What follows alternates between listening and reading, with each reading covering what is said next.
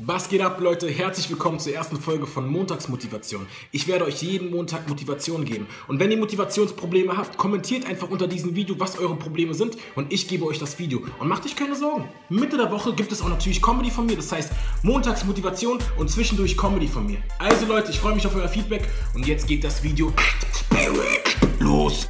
Es gibt immer Tage, wo man keinen Bock hat, etwas zu machen.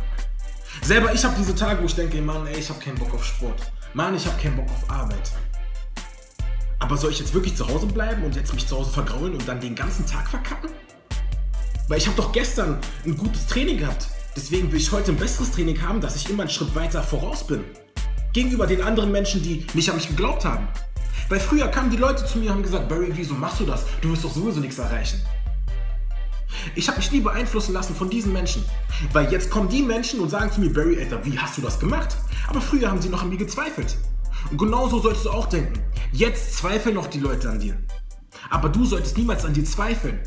Weil es wird der Tag kommen, wo die Leute auf dich zukommen und sagen, ey scheiße, wie hast du das gemacht? Egal was für einen Traum du hast, versuch deinen Traum zu beschützen, ganz einfach. Und du musst jeden Tag dafür arbeiten. Das heißt, es gibt immer Tage, wo du keine Lust hast.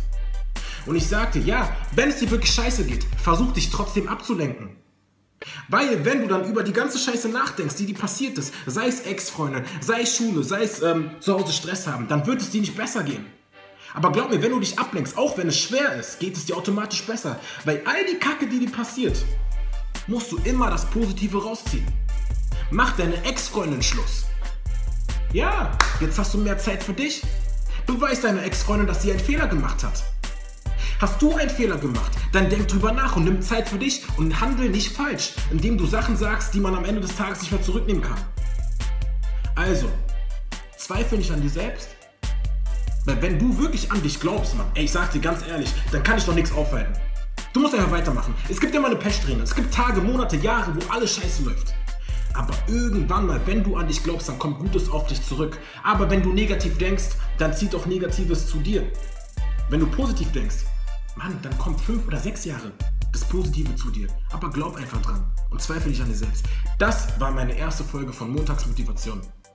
Wie gesagt, wenn ihr Fragen habt mit Motivation oder sonst welche Sachen, kommentiert einfach unter diesem Video. Ich würde mich auf euer Feedback freuen und gebt mir einen Daumen hoch, falls es cool war. Ich werde euch jeden Montag motivieren und natürlich auch noch Comedy und Sport und alles. Ich danke für euren Support und es wird noch Großes auf euch zukommen. Body Formers Motivation! Boom, Baby!